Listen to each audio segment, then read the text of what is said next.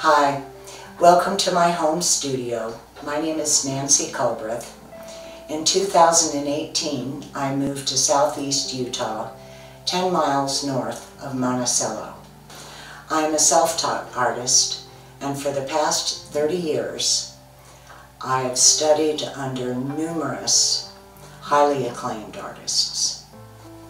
Having the privilege to live in canyon country, I have developed a series of canyon paintings in oil that just shows the magnitude of these ancient lands. This unfinished painting on the easel behind me is of the Abajo mountain range near Monticello, Utah.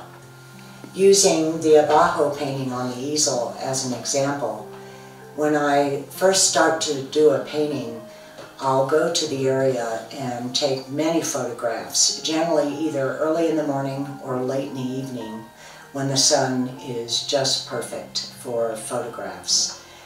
I will do a thumbnail sketch and sometimes have watercolors with me to capture the correct value for the scene.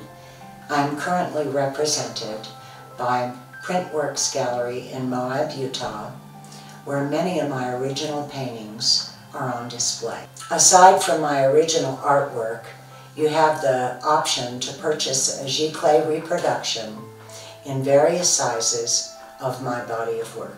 To learn more about me and my artwork, visit my website, nancyculbrethart.com, and I would love you to subscribe.